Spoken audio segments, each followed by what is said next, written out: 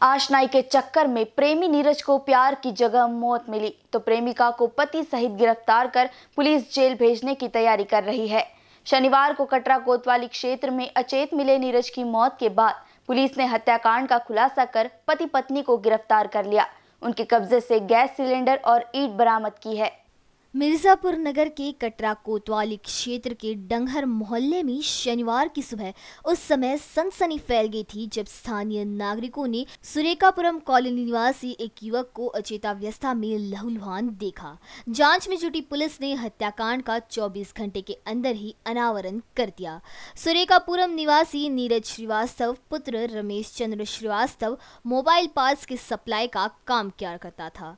बीते शुक्रवार की रात वह परिजनों के दोस्त के साथ जागरण कार्यक्रम में जाने की बात कहकर घर से लगभग साढ़े नौ बजे निकला था। शनिवार की सुबह डंगर इलाके में नीरज गंभीर रूप में घायल अवस्था में मिला था।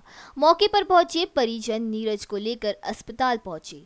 चिकित्सकों ने नीरज को मृत घोषित कर दिया। सूचना मिलते ही पुलिस हरकत में आ गई। मौके पर पहुँचे एसपी ने मुआयना कर निर्देश दिया था। पूरी प्रशासनिक ताकत इस हत्याकांड का पर्दाफाश करने में लग गई। रविवार को क्षेत्र अधिकारी ने कटरा कोतवाली में पत्रकार वार्ता कर हत्याकांड का खुलासा किया। बताया कि आशनाई में प्रेमिका ने अपने पति के साथ मिलकर युवक की हत्या कर दी। उन्होंने बताया कि नीरज के प्रेमिका की शादी हो गई थी। पति और उसका एक अन्य भाई दोनों मिलकर दिन रात बाहर काम किया करते थे। इसके बावजूद नीरज प्रेमिका के घर आया जाया करता था। घटना वाले दिन भी युवक उसके घर पहुँचा था। इस बीच प्रेमिका का पति घर आ गया। दोनों पति पत्नी ने मिलकर नीरज के सिर पर सिलेंडर से प्रहार कर घायल अवस्था में छोड़ दिया। युवक लहूलुहान अवस्था में कुछ दूर जाकर गिर पड़ा।